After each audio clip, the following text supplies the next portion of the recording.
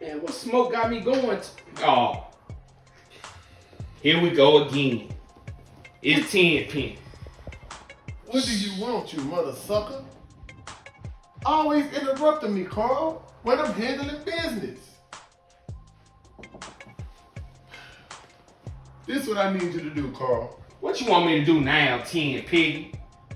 Hey, watch your tongue with me, boy. Hey, I ain't never been afraid of a cop. Carl, I need you to go over there to Vice City and go pick up a few ballots. Man, I don't want to go to no Vice City. If you don't listen to me, boy, go to Vice City, pick up some pallets, and bring it back to me. Now go handle your business. Shh.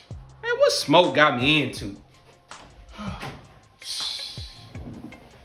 You ever get no rest?